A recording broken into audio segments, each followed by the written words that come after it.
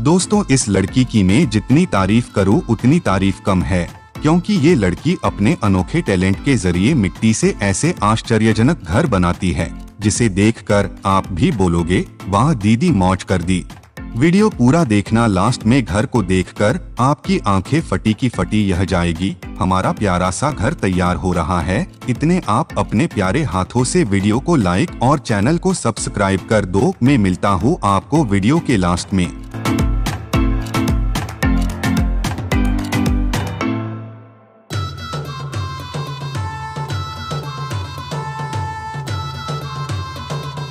तो दोस्तों फाइनली हमारा प्यारा सा घर बन चुका है। अब आपको ये घर कैसा लगा कमेंट में ज़रूर बताएँ।